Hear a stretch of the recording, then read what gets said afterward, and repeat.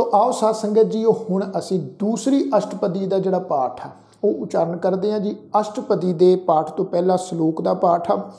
ਅਸੀਂ ਸ਼ਲੋਕ ਦਾ ਪਾਠ ਉਚਾਰਨ ਕਰਾਂਗੇ ਜੀ। ਸ਼ਲੋਕ, ਦੀਨ ਦਰਦ ਦੁਖ ਭੰਜਨਾ, ਘਟ ਘਟ ਨਾਥ ਅਨਾਥ, ਸ਼ਰਨ ਤੁਮਾਰੀ ਆਇਓ, ਨਾਨਕ ਕੇ ਪ੍ਰਭ ਸਾਥ। ਅਸ਼ਟਪਦੀ ਅਸ਼ਟਪਦੀ ਦਾ ਭਾਵ ਆ ਜੀ, ਅੱਠ ਪਦਿਆਂ ਵਾਲਾ ਸ਼ਬਦ।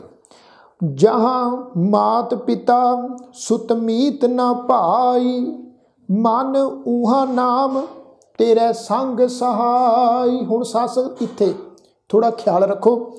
ਅਸੀਂ ਸ਼ਬਦ ਦਾ ਪਾਠ ਉਚਾਰਨ ਕਰ ਰਹੇ ਹਾਂ ਜੀ, ਜਹਾਂ ਮਾਤ ਪਿਤਾ ਸੁਤ ਮੀਤ ਨਾ ਪਾਈ ਇਹ ਜਿਹੜਾ ਸ਼ਬਦ ਆ, ਜੱਜਾ ਹਾਹਾ ਇਸ ਸ਼ਬਦ ਦਾ ਪਾਠ ਕਰਾਂਗੇ ਜੀ, ਜਹਾਂ ਜਹਾਂ ਤੋਂ ਭਾਵ ਆ ਜੀ ਜਿੱਥੇ, ਅੱਗੇ ਆਏਗਾ ਜੀ ਤੱਤਾ ਹਾਹਾ, ਉਹਨੂੰ ਉਚਾਰਨ ਕਰਨਗੇ ਤਹਾਂ ਤਹਾਂ ਤੋਂ ਭਾਵ ਤਿੱਥੈ।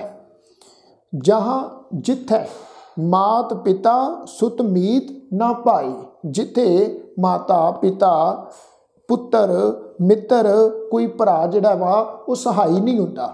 ਗੁਰੂ ਸਾਹਿਬ ਕਹਿੰਦੇ, ਮਨ, ਹੈ ਮੇਰੇ ਮਨ ਉਹਾ ਨਾਮ, ਤੇਰਾ ਸੰਗ ਸਹਾਈ ਵੀ ਉੱਥੇ, ਜਿਹੜਾ ਹੈ ਪਰਿਪੂਰਨ ਪਰਮੇਸ਼ਵਰ ਦਾ ਨਾਮ ਜਿਹੜਾ ਵਾ, ਉਹ ਸਾਡੇ ਸਹਾਈ ਹੁੰਦਾ ਵਾ, ਸਾਡਾ ਮਦਦਗਾਰ ਬਣਦਾ ਵਾ। ਤੋ ਇਹ ਸ਼ਬਦ ਦਾ, ਇਹਨਾਂ ਪੰਕਤੀਆਂ ਦਾ ਪਾਠ ਆ ਜੀ, ਜਹਾਂ ਮਾਤ ਪਿਤਾ ਸੁਤ ਮੀਤ ਨਾ ਭਾਈ, ਮਨ ਉਹਾ ਨਾਮ ਤੇਰੇ ਸੰਗ ਸਹਾਈ। ਜਹਾਂ ਮਹਾ ਭਿਆਨ ਦੂਤ ਜਮ ਦਲੈ, ਤਹਾਂ ਕੇਵਲ ਨਾਮ ਸੰਗ ਤੇਰੇ ਚੱਲੈ, ਤਹਾਂ ਜਹਾਂ ਮੁਸ਼ਕਲ ਹੋਵੇ ਅਤ ਭਾਰੀ, ਹਰ ਕੋ ਨਾਮ ਖਿਨ ਮਾਹੇ ਉਧਾਰੀ, ਅਨਿਕ ਪੁਨਾ ਚਰਨ ਕਰਤ ਨਹੀਂ ਤਰੈ। ਇਹ ਸ਼ਬਦ ਦਾ ਪਾਠ, ਇਹਨੂੰ ਧਿਆਨ ਰੱਖੋ ਜੀ, ਅਨਿਕ ਪੁਨਾ ਚਰਨ, ਇਹ ਸ਼ਬਦ ਹੈ ਜੀ ਪੁਨਾ ਚਰਨ, ਇਹਨੂੰ ਪੁਨਹ ਚਰਨ, ਇਸ ਢੰਗ ਨਾਲ ਨਹੀਂ ਉਚਾਰਨ ਕਰਨਾ। ਇਹ ਸ਼ਬਦ ਦਾ ਪਾਠ ਉਚਾਰਨ ਕਰਾਂਗੇ ਜੀ, ਪੁਨਾ ਚਰਨ ਪੁਨਾ ਚਰਨ ਦਾ ਅਰਥ ਬਣਦਾ ਵਾ ਮੀਨਿੰਗ ਜਿਹੜਾ ਵਿਦਵਾਨਾਂ ਨੇ ਕੀਤਾ ਵਾ ਜੀ, ਪ੍ਰੋਫੈਸਰ ਸਾਹਿਬ ਸਿੰਘ ਨੇ।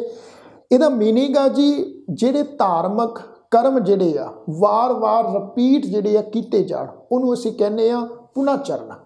ਤੋਂ ਇੱਥੇ ਪਾਠ ਆ ਜੀ, ਅਨਿਕ ਪੁਨਾ ਚਰਨ ਕਰਤ ਨਹੀਂ ਤਰੈ।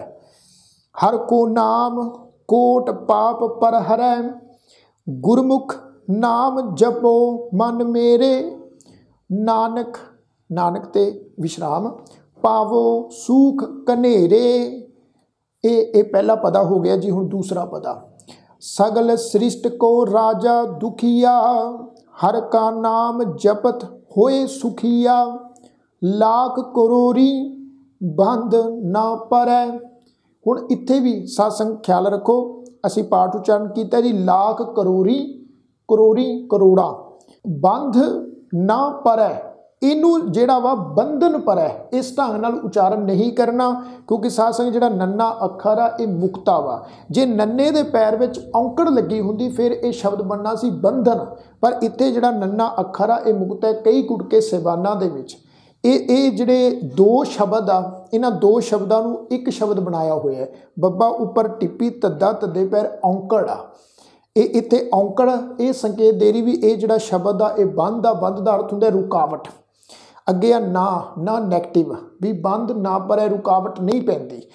ਪਰ ਕਈ ਗੁਟਕੇ ਸੇਵਾਨਾਂ ਵਿੱਚ ਨੰਨਾ ਅੱਖਰ ਜਿਹੜਾ ਵਾ, ਉਹ ਧੱਦੇ ਦੇ ਨਾਲ ਜੋੜਿਆ ਹੋਇਆ ਵਾ। ਉੱਤੇ ਸ਼ਬਦ ਬਣਾਇਆ ਬੰਧਨ, ਪਰ ਇਸ ਸ਼ਬਦ ਦਾ ਪਾਠ ਬੰਧਨ ਨਹੀਂ ਹੈ। ਇਹ ਸ਼ਬਦ ਦਾ ਪਾਠ ਹੈ ਜੀ, ਬੰਦ ਨਾ ਪਰੈ ਲਾਖ ਕਰੋਰੀ, ਬੰਦ ਨਾ ਪਰੈ ਹਰ ਕਾ ਨਾਮ ਜਪਤ, ਨਿਸਤਰੈ। ਅਨਕ ਮਾਇਆ, ਰੰਗ ਤਿਖ ਨਾ 부ਝਾਵੈ ਹਰ ਕਾ ਨਾਮ ਜਪਤ ਆ ਘਾਵੈ ਆ ਆਘਾਵੈ ਰੱਜ ਜਾਣਾ। ਜਿਹੇ ਮਾਰਗ, ਹੁਣ ਇਹ ਜਿਹੜਾ ਸ਼ਬਦ ਆ ਜੀ, ਜੱਜੇ ਨੂੰ ਸਿਆਰੀ ਹਾਹਾ। ਪਹਿਲਾਂ ਇਹ ਸ਼ਬਦ ਆਇਆ ਸੀ, ਜੱਜਾ ਹਾ, ਦੋਨੇ ਅੱਖਰ ਮੁਕਤਾ। ਜਿੱਥੇ ਦੋਨੇ ਅੱਖਰ ਮੁਕਤਾ ਹੋਣ, ਉਹ ਸ਼ਬਦ ਦਾ ਪਾਠ ਉਚਾਰਨ ਕਰਾਂਗੇ, ਜਹਾਂ, ਤਤਾ ਹਾਹਾ, ਤਹਾਂ। ਪਰ ਇੱਥੇ ਆ ਜੀ, ਜੱਜੇ ਨੂੰ ਸਿਆਰੀ। ਜੱਜੇ ਨੂੰ ਹੁਣ ਇਹ ਜਿਹੜੀ ਸਿਆਰੀ ਆ, ਇਹ ਸ਼ਬਦ ਦਾ ਉਚਾਰਨ ਬਣੇਗਾ ਜਿਹੇ। ਜਿਹ ਮਾਰਗ, ਇਹ ਜਾਤ ਇਕੇਲਾ, ਤਾਹ ਤਾਹ, ਤਿੱਥੇ, ਤਾਹ ਹਰ ਨਾਮ ਸੰਗ ਹੋਤ ਸੁਹੇਲਾ, ਐਸਾ ਨਾਮ ਮਨ ਸਦਾ ਧਿਆਈਐ, ਨਾਨਕ ਗੁਰਮੁਖ ਪਰਮ ਗਤ ਪਾਈਐ। ਪਰਮ ਗਤ ਪਾਈਐ ਇਹ ਦੋ ਸ਼ਬਦ ਹੋ ਗਏ ਜੀ। ਦੋ ਪਦੇ, ਤੀਸਰਾ ਪਦਾ, ਛੂਟਤ ਨਹੀਂ, ਕੋਟ ਲੱਖ ਬਾਹੀ ਬਾਹੀ, ਬਾਵਾ, ਇਹ ਬਾਵਾ ਦੀ ਗੱਲ ਕੀਤੀ ਗਈ ਹੈ ਜੀ।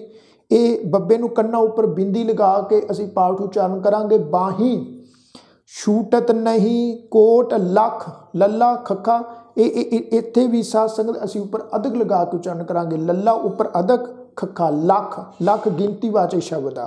ਕੋਟ, ਕਰੋੜਾ, ਛੂਟਤ ਨਹੀਂ, ਕੋਟ, ਲੱਖ ਬਾਹੀ, ਨਾਮ ਜਪਤ ਤਹ ਪਾਰ ਪਰਾਹੀ। ਪਰਾਹੀ ਹਾਹੇ ਨੂੰ ਬਿਹਾਰੀ ਨਾਲ ਬਿੰਦੀ ਲਗਾ ਕੇ ਉਚਾਰਨ ਕਰਾਂਗੇ। ਅਨਕ ਬਿਘਨ ਜਹਾਂ ਆਏ ਸੰਘਾਰੈ, ਹਰ ਕਾ ਨਾਮ ਤਤਕਾਲ ਉਧਾਰੈ। ਅਨਿਕ ਜੋਨ ਜਨ ਮੈਂ ਮਰ ਜਾਮ, ਨਾਮ ਜਪਤ ਪਾਵੇ ਬਿਸ਼ਰਾਮ। ਹਉ ਮੈਲਾ ਮਲ ਕਬਹੂ ਨਾ ਧੋਵੈ, ਹਰ ਕਾ ਨਾਮ ਕੋਟ ਪਾਪ ਖੋਵੈ। ਐਸਾ ਨਾਮ ਜਪੋ ਮਨ ਰੰਗ, ਨਾਨਕ ਪਾਈਐ ਸਾਧ ਕੈ ਸੰਗ। ਇਹ ਇਹ ਹੋ ਗਏ ਜੀ ਸਾਧ ਸੰਗਤ ਤਿੰਨ ਪਦੇ, ਇਹ ਤਿੰਨ ਸ਼ਬਦ। ਹੁਣ ਚੌਥਾ ਪਦਾ, ਚੌਥਾ ਸ਼ਬਦ। ਜਿਹੇ ਮਾਰਗ ਕੇ ਗਨੇ ਜਾਹੇ ਨਾ ਕੋਸਾ, ਹਰ ਕਾ ਨਾਮ ਉਹਾ ਸੰਗ ਤੋਸ਼ਾ ਸੱਸੇ ਦੇ ਪੈਰ ਵਿੱਚ ਬਿੰਦੀ ਲਗਾ ਕੇ ਅਸੀਂ ਇਸ ਢੰਗ ਨਾਲ ਵੀ ਉਚਾਰਨ ਕਰ ਸਕਦੇ ਜੀ, ਤੋਸ਼ਾ। ਕਿਉਂਕਿ ਇਹ ਜਿਹੜਾ ਸ਼ਬਦ ਆ ਉਹਾ ਸੰਗ ਤੋਸ਼ਾ। ਤੋਸ਼ਾ ਦਾ ਅਰਥ ਆ ਜੀ ਪੂੰਜੀ, ਜੀਵਨ ਰਾਸ ਪੂੰਜੀ। ਜਿਹ ਪੈਂਡੈ ਮਹਾ ਅੰਧ ਗੁਬਾਰਾ, ਹਰ ਕਾ ਨਾਮ ਸੰਗ ਉਜਿਆਰਾ। ਜਹਾਂ ਪੰਥ ਤੇਰਾ ਕੋਨਾ ਸਿੰਜਾਨੂ ਸਿੰਜਾਨੂ ਪਛਾਨਣ ਵਾਲਾ ਜੀ, ਜਾਣ ਪਛਾਣ ਵਾਲਾ। ਠੀਕ ਹੈ ਨਾ ਜੀ? ਜਹਾਂ ਪੰਥ ਤੇਰਾ ਕੋਨਾ ਸਿੰਜਾਨੂ ਹਰ ਕਾ ਨਾਮ ਤਹ ਨਾਲ ਪਛਾਨੂ। ਜਹਾਂ ਮਹਾ ਭਿਆਨ ਤਬਤ ਬਹੁ ਕਾਮ ਤਹ ਹਰ ਕੇ ਨਾਮ ਕੀ ਤੁਮ ਊਪਰ ਸ਼ਾਮ। ਜਹਾਂ ਤ੍ਰਿਖਾ ਮਨ ਤੁਝ ਆ ਕਰਖੈ ਆ ਕਰਖੈ ਖੱਖਾ ਵਾ ਅਖੀਰ ਦੇ ਉੱਤੇ। ਇਹਨੂੰ ਕੱਕਾ ਨਹੀਂ ਉਚਾਰਨ ਕਰਨਾ। ਤੁਝ ਆ ਕਰਖੈ ਤਹਾਂ ਨਾਨਕ ਹਰ ਹਰ ਅੰਮ੍ਰਿਤ ਬਰਖੈ ਇਹ ਇਹ ਹੋ ਗਏ ਜੀ ਚਾਰ ਪਦੇ। ਸਾਧ ਸੰਗਤ ਪੰਜਵਾਂ ਪਦਾ, ਭਗਤ ਜਨਾ ਕੀ ਬਰਤਨ ਨਾਮ, ਸੰਤ ਜਨਾ ਕੈ ਮਨ ਬਿਸ਼ਰਾਮ। ਹਰ ਕਾ ਨਾਮ ਦਾਸ ਕੀ ਓਟ ਹਰ ਕੈ ਨਾਮ ਉਧਰੇ ਜਨ ਕੋਟ, ਹਰ ਜਸ ਕਰਤ ਸੰਤ ਦਿਨ ਰਾਤ, ਹਰ ਹਰ ਔਖਦ ਸਾਧ ਕਮਾਤ, ਹਰ ਜਨ ਕੈ ਹਰ ਨਾਮ ਨਿਧਾਨ, ਪਾਰ ਬ੍ਰਹਮ ਜਨ ਕੀਨੋ ਦਾਨ, ਮਨ ਤਨ ਰੰਗ ਰਤੇ ਰੰਗ ਏਕੈ, ਨਾਨਕ ਜਨ ਕੈ ਬਿਰਧ ਵਿਵੇਕੈ ਇਹ ਸਾਧ ਸੰਗਤ ਹੋ ਗਏ ਜੀ ਪੰਜ ਸ਼ਬਦ ਜਾਂ ਪੰਜ ਪਦੇ। ਨਾਨਕ ਜਨ ਕੈ, ਬਿਰਧ ਵਿਵੇਕੈ ਹੁਣ ਛੇਵਾਂ ਪਦਾ ਜੀ, ਛੇਵਾਂ ਸ਼ਬਦ। ਹਰ ਕਾ ਨਾਮ ਜਨ ਕਉ, ਮੁਕਤ ਜੁਗਤ। ਹਰ ਕੈ ਨਾਮ ਜਨ ਕਉ, ਤ੍ਰਿਪਤ ਭੁਗਤ। ਹਰ ਕਾ ਨਾਮ ਜਨ ਕਾ ਰੂਪ ਰੰਗ। ਹਰ ਨਾਮ ਜਪਤ ਕਬ ਪਰੈ ਨਾ ਭੰਗ? ਹਰ ਕਾ ਨਾਮ ਜਨ ਕੀ ਵਡਿਆਈ? ਹਰ ਕੈ ਨਾਮ ਜਨ ਸ਼ੋਭਾ ਪਾਈ? ਹਰ ਕਾ ਨਾਮ ਜਨ ਕੋ ਭੋਗ ਜੋਗ? ਹਰ ਨਾਮ ਜਪਤ ਕਛ ਨਾਹੀ ਬੇਯੋਗ? ਜਨ ਰਾਤਾ ਹਰ ਨਾਮ ਕੀ ਸੇਵਾ? ਨਾਨਕ ਪੂਜੈ ਹਰ ਹਰ ਦੇਵਾ। ਇਹ ਹੋ ਗਏ ਜੀ 6 ਪਦੇ 6 ਸ਼ਬਦ, ਸਤਵਾ ਪਦਾ ਜੀ। ਹਰ ਹਰ ਜਨ ਕੈ ਮਾਲ ਖਜੀਨਾ ਹਰ ਧਨ ਜਨ ਕਉ ਆਪ ਪ੍ਰਭ ਦੀਨਾ। ਹਰ ਹਰ ਜਨ ਕੈ ਓਟ ਸਤਾਣੀ, ਹਰ ਪ੍ਰਤਾਪ ਜਨ ਅਵਰ ਨਾ ਜਾਣੀ। ਓਤ ਪੋਤ ਜਨ ਹਰ ਰਸ ਰਾਤੇ ਸੁਨ ਸਮਾਧ, ਨਾਮ ਰਸ ਮਾਤੇ। ਆਠ ਪਹਿਰ, ਜਨ ਹਰ ਹਰ ਜਪੈ, ਹਰ ਕਾ ਭਗਤ ਪ੍ਰਗਟ ਨਹੀਂ ਛਪੈ। ਹਰ ਕੀ ਭਗਤ ਮੁਕਤ ਬਹੁ ਕਰੇ, ਨਾਨਕ ਜਨ ਸੰਗ ਕੇਤੇ ਤਰੇ। ਇਹ ਸਾਧ ਸੰਗਤ ਹੋ ਗਏ ਜੀ ਸਤ ਪਦੇ, ਸਤ ਸ਼ਬਦ। ਪਾਰ ਜਾਤ, ਇਹ ਹਰ ਕੋ ਨਾਮ। ਕਾਮ ਥੇਨ, ਹਰ ਹਰ ਗੁਣ ਗਾਮ। ਸਭ ਤੇ ਉਤਮ ਉਤਮ ਊੜੇ ਦੇ ਪੈਰ ਚ ਦੁਲੰਕੜ ਆ ਜੀ। ਇਹਨੂੰ ਉਤਮ ਨਹੀਂ ਪੜਨਾ ਉਤਮ ਸਭ ਤੇ ਉਤਮ ਹਰ ਕੀ ਕਥਾ। ਨਾਮ ਸੁਨਤ, ਦਰਦ ਦੁਖ ਲੱਥਾ ਲੱਥਾ ਲੱਥ ਜਾਣਾ। ਨਾਮ ਕੀ ਮਹਿਮਾ ਸੰਤ ਰਿਦ ਵਸੈ, ਸੰਤ ਪ੍ਰਤਾਪ ਦੁਰਤ ਸਭ ਨਸੈ। ਆਪਾਂ ਪਿੱਛੇ ਵੀ ਸ਼ਬਦ ਪੜਿਆ ਸੀ, ਨਸੈ, ਨਸ ਜਾਣਾ, ਭੱਜ ਜਾਣਾ ਜੀ। ਸੰਤ ਪ੍ਰਤਾਪ ਦੁਰਤ ਸਭ ਨਸੈ, ਸੰਤ ਕਾ ਸੰਗ ਵੱਡ ਭਾਗੀ ਪਾਈਐ। ਸੰਤ ਕੀ ਸੇਵਾ ਨਾਮ ਧਿਆਈਐ, ਨਾਮ ਤੁਲ ਕਛ ਅਵਰ ਨਾ ਹੋਏ। ਨਾਨਕ, ਗੁਰਮੁਖ ਨਾਮ ਪਾਵੇ ਜਨ ਕੋਏ। ਤੋ ਸਾਧ ਸੰਗਤ, ਇਹ ਹੋ ਗਏ ਜੀ 8 ਪਦੇ 8 ਸ਼ਬਦ। ਇੱਕ ਮੈਂ ਹੋਰ ਬੇਨਤੀ ਕਰਦਾ ਜਾਵਾਂ, ਜਿਹੜਾ ਨਾਨਕ ਸ਼ਬਦ ਆ।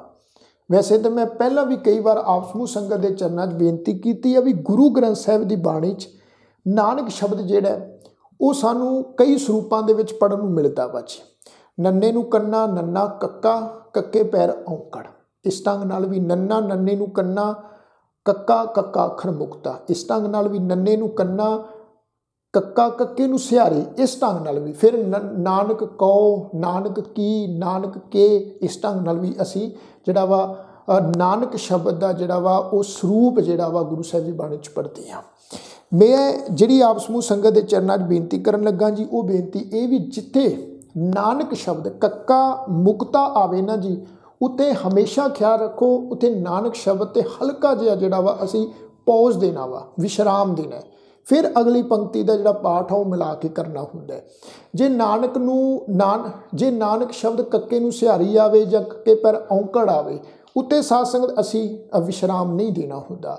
ਜੇ ਨਾਨਕ ਕੇ ਜਾਂ ਨਾਨਕ ਕੀ ਜਾਂ ਨਾਨਕ ਕੋ ਆ ਜਾਏ, ਫਿਰ ਕੇ, ਕੀ ਕੋ ਜਾਂ ਕਾ, ਉਹਦੇ ਤੋਂ ਬਾਅਦ ਜਿਹੜਾ ਵਾ ਹਲਕਾ ਜਿਹਾ ਵਿਸ਼ਰਾਮ ਦੇਣਾ ਹੁੰਦਾ ਤੋ ਸਾਧ ਸੰਗਤ, ਮੈਂ ਉਮੀਦ ਕਰਦਾ ਵਾਂ ਜੀ ਹੁਣ ਜੋ ਅਸੀਂ ਦੂਸਰੀ ਅਸ਼ਟਪਦੀ ਦਾ ਜਿਹੜਾ ਪਾਠ ਆ, ਗੁਰੂ ਸਾਹਿਬ ਦੀ ਕਿਰਪਾ ਨਾਲ ਅਸੀਂ ਜਿਹੜਾ ਵਾ ਉਹ ਉਚਾਰਨ ਕੀਤਾ ਹੈ, ਸਾਧ ਸੰਗਤ ਆਪ ਸਮੂਹ ਸਿੱਖ ਸੰਗਤਾਂ ਨੂੰ ਇਸ ਅਸ਼ਟਪਦੀ ਦੇ ਪਾਠ ਦੀ ਜ਼ਰੂਰ ਸਮਝ ਲੱਗੀ ਹੋਵੇਗੀ ਉਚਾਰਨ ਸੰਬੰਧੀ। ਸਾਧ ਸੰਗਤ, ਮੈਂ ਫਿਰ ਇੱਕ ਵਾਰ ਰਿਪੀਟ ਬੇਨਤੀ ਕਰਦੇ ਮੈਂ ਸਾਧ ਸੰਗਤ ਇਹਦੀ ਜਿਹੜੀ ਆ ਡਿਟੇਲ ਵਿੱਚ ਵਿਆਖਿਆ ਨਹੀਂ ਕਰ ਰਿਹਾ ਸੁਖਮਨੀ ਸਾਹਿਬ ਦੀ। ਕੇਵਲ ਤਾਂ ਕੇਵਲ ਮੈਂ ਕੋਸ਼ਿਸ਼ ਕਰ ਰਿਹਾ ਗੁਰੂ ਸਾਹਿਬ ਦੀ ਕਿਰਪਾ ਨਾਲ ਜਿੰਨੀ ਵੀ ਮਤ ਸੁਮਤ ਗੁਰੂ ਸਾਹਿਬ ਨੇ ਮੈਨੂੰ ਬਖਸ਼ਿਸ਼ ਕੀਤੀ ਆ, ਵੀ ਆਪ ਸਮੂਹ ਸਿੱਖ ਸੰਗਤਾਂ ਦੇ ਨਾਲ ਸੁਖਮਣੀ ਸਾਹਿਬ ਦੇ ਪਾਠ ਦਾ ਕੇਵਲ ਸਾਸੰਗ ਸ਼ੁੱਧ ਉਚਾਰਨ ਜਿਹੜਾ ਵਾ ਉਹੀ ਆਪ ਜੀ ਦੇ ਨਾਲ ਜਿਹੜਾ ਵਾ ਸਾਂਝਾ ਕੀਤਾ ਜਾਵੇ, ਇਹਦੀ ਜਾਣਕਾਰੀ ਇਸ ਸੰਬੰਧੀ ਸਾਂਝੀ ਕੀਤੀ ਜਾਵੇ। ਕਿਉਂਕਿ ਸੁਖਮਣੀ ਸਾਹਿਬ ਦੀ ਪਾਵਨ ਬਾਣੀ ਦਾ ਪਾਠ ਬਹੁਤਾਂਤ ਵਿੱਚ ਜਿਹੜੀਆਂ ਸਿੱਖ ਸੰਗਤਾਂ ਆਪਣੇ ਘਰਾਂ ਵਿੱਚ ਵੀ ਕਰਦੀਆਂ ਵਾ, ਗੁਰਦੁਆਰੇ ਸਹਿਬਾਨਾਂ 'ਚ ਵੀ ਕਰਦੀਆਂ ਵਾ। ਤੋਂ ਸੁਖਮਣੀ ਸਾਹਿਬ ਦਾ ਜਿਹੜਾ ਪਾਠ ਆ, ਇਹਦਾ ਉਚਾਰਨ ਜਿਹੜਾ ਵਾ, ਉਹ ਸਾਧ ਸੰਗਤ ਜ਼ਰੂਰ ਸਾਡਾ ਕਲੀਅਰ ਹੋਣਾ ਚਾਹੀਦਾ ਵਾ ਵੀ ਕਿਸ ਢੰਗ ਤਰੀਕੇ ਨਾਲ ਅਸੀਂ ਸ਼ਬਦਾਂ ਦਾ ਜਿਹੜਾ ਪਾਠ ਉਚਾਰਨ ਕਰਨਾ ਹੈ। ਬਾਕੀ ਮੈਂ ਕੋਈ ਦਾਵਾ ਨਹੀਂ ਕਰਦਾ ਵੀ ਜੋ ਮੈਂ ਦੱਸ ਰਿਹਾ ਵਾਂ ਤੇ ਇਹ ਅਖੀਰ ਆ। ਹੋ ਸਕਦਾ ਸਾਧ ਸੰਗਤ ਇਹਦੇ ਤੋਂ ਅਗਾਹ ਵੀ ਬਹੁਤ ਕੁਝ ਉਚਾਰਨ ਸੰਬੰਧੀ ਜਿਹੜੀ ਆ ਜਾਣਕਾਰੀ ਹੋਵੇ, ਪਰ ਜਿੰਨੀ ਕੋ ਮੈਨੂੰ ਸੋਝੀ ਗੁਰੂ ਸਾਹਿਬ ਨੇ ਬਖਸ਼ੀ ਆ, ਮੈਂ ਉਸ ਸੋਝੀ ਅਨੁਸਾਰ ਹੀ ਆਪ ਸਮੂਹ ਸੰਗਤ ਦੇ ਨਾਲ ਜਿਹੜੀ ਆ ਬੇਨਤੀ ਸਾਂਝੀ ਕਰ ਰਿਹਾ। ਸੋ ਸਾਧ ਸੰਗਤ, ਆਓ ਹੁਣ ਅਸੀਂ ਜਿਹੜਾ ਵਾ ਤੀਸਰੀ ਅਸ਼ਟਪਦੀ ਦਾ ਜਿਹੜਾ ਪਾਠ ਆ, ਉਹ ਉਚਾਰਨ ਕਰਦੇ ਹਾਂ ਜੀ ਰਲ ਮਿਲ ਕੇ। ਤੀਸਰੀ ਅਸ਼ਟਪਦੀ ਦਾ ਪਾਠ।